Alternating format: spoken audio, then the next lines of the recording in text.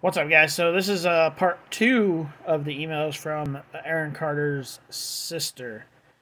It says, another example, about four years ago, my husband and I were in Paradise Valley here in LA. We took Aaron out for the day for some sunshine. As we were walking around, a homeless woman approached us. Aaron opened, opened a conversation with her and asked her about her well-being. He grabbed her and hugged her without hesitation. This is who Aaron was at his core a person who loved and sometimes, uh, sometimes to a fault. The person who loved and sometimes to a fault. He was so stubborn, and although I couldn't save him, that's because you didn't even fucking try.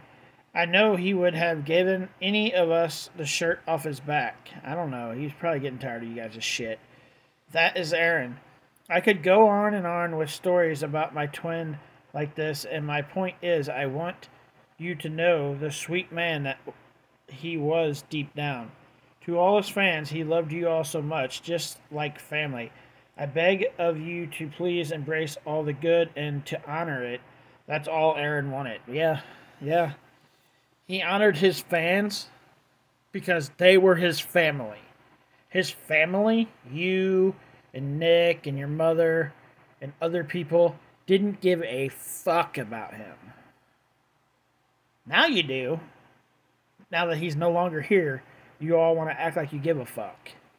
But you sure in the hell didn't before. You just didn't.